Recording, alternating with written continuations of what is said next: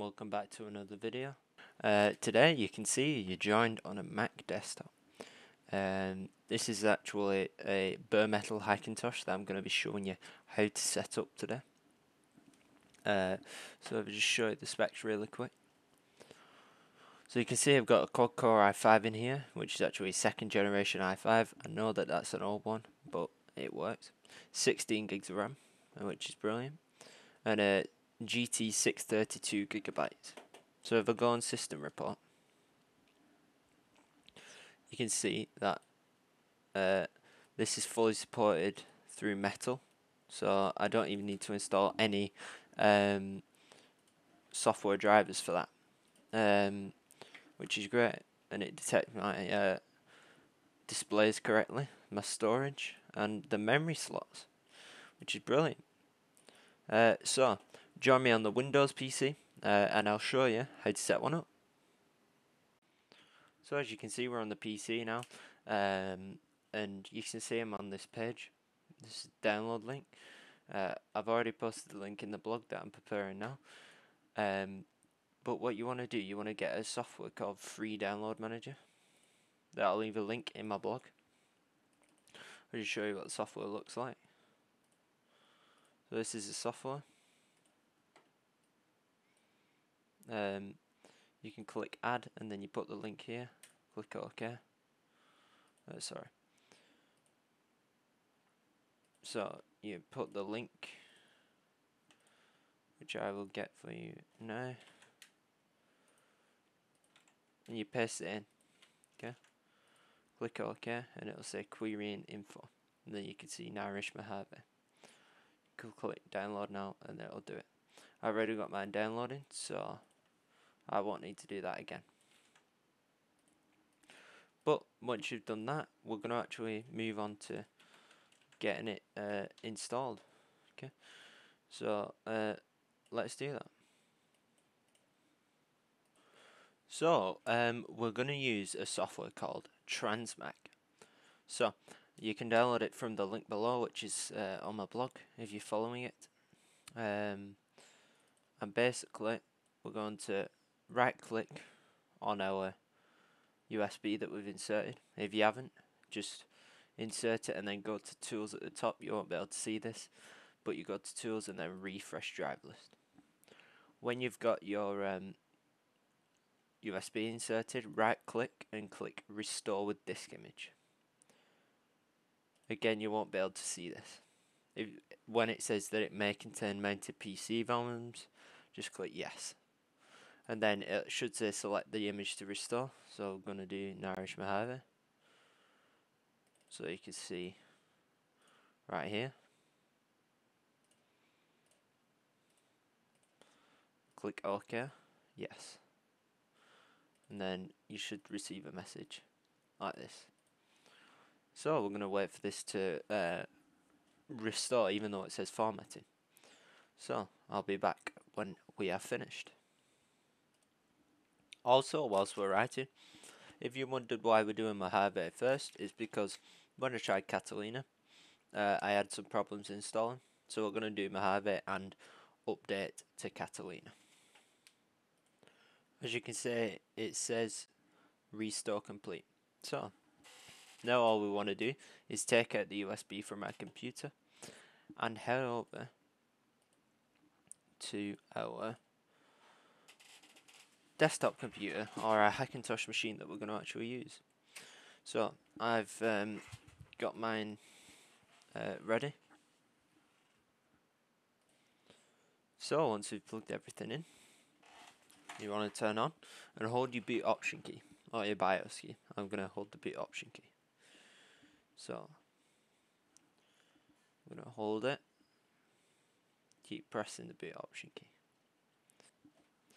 So you can see I'm in the uh, boot options menu. We're going to first go to BIOS setup. So I'm on a Dell Optiplex 7010, but it should be fairly simple uh, for any BIOS. So we want to make sure that uh, legacy option, uh, our boot list option, or uh, boot mode is set to UEFI, as you can see mine is. We want to take uh, any um, network interface cards that we have I'm gonna hit apply. Also, just for uh, just for sanity, enable um, Intel Turbo Boost and virtualization support. Once you've done that, we're gonna restart. Click exit and it'll restart. Um, and we are now going to boot our Hackintosh installer.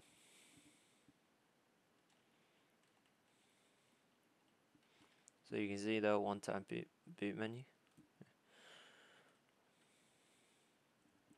And we're going to select our USB. Now mine's SanDisk, and we want to make sure we select the UEFI version, which I'm going to do. Press enter, we should hit a Clover boot screen. Um, which you'll see right about now. So you can see there we have uh, no level because this used to be a Linux machine and then we have the macOS install. So we're going to press enter. Uh, it's going to actually boot it in verbose mode uh, which does this um, which is really weird. But we're going to wait for it to boot. I won't let you, I won't keep you waiting. So you can see we have a mouse in the top left. And now we have the Apple logo. So that means that we're successfully booting and it's passed all of its verbose checks, uh, which is great. So we're going to wait for it to boot.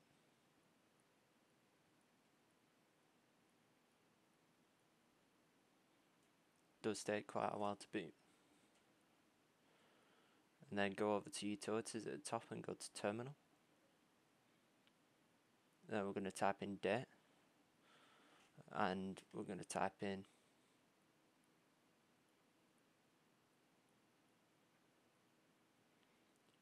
zero three zero three four zeros two zero one.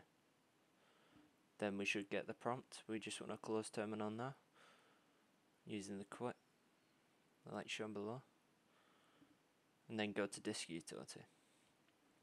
So we're going to click view and then show all devices and then erase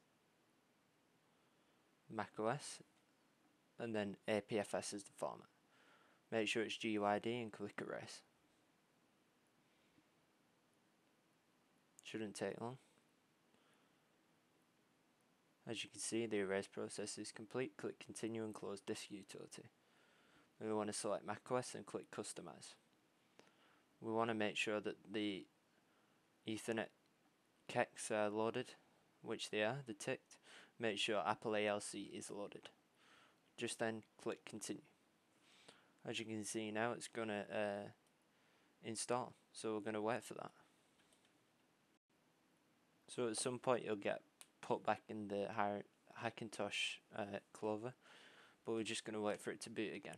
Now, it shouldn't do this much more, and we should be greeted with setup screen. From this point, you configure it as a real Mac.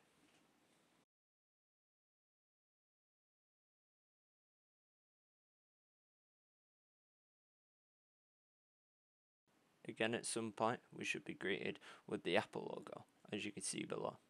It will boot up a lot quicker uh, than it was loaded on the USB, obviously because I'm installed it on an SSD, but it could take very time depending on the hardware and uh, other factors as such. So we're going to wait for it to boot.